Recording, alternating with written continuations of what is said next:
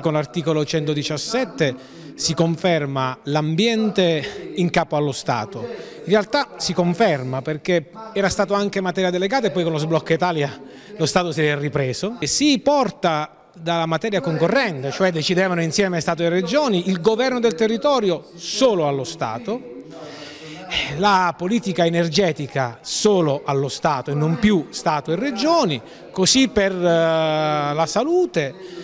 Quindi mi pare evidente che vi è una grande fragilità e debolezza se dovesse vincere il sì delle regioni e degli enti locali. Gianni Pittella dice che non sarà così, allora chi ha ragione? Dice rimane in capo alle regioni l'ambiente, la difesa del suolo e del territorio. Allora l'ambiente non era neanche prima in capo alle regioni ma era stato delegato e poi con lo sblocco Italia è stato ripreso e non c'è la difesa del suolo e la difesa del territorio in capo alle regioni.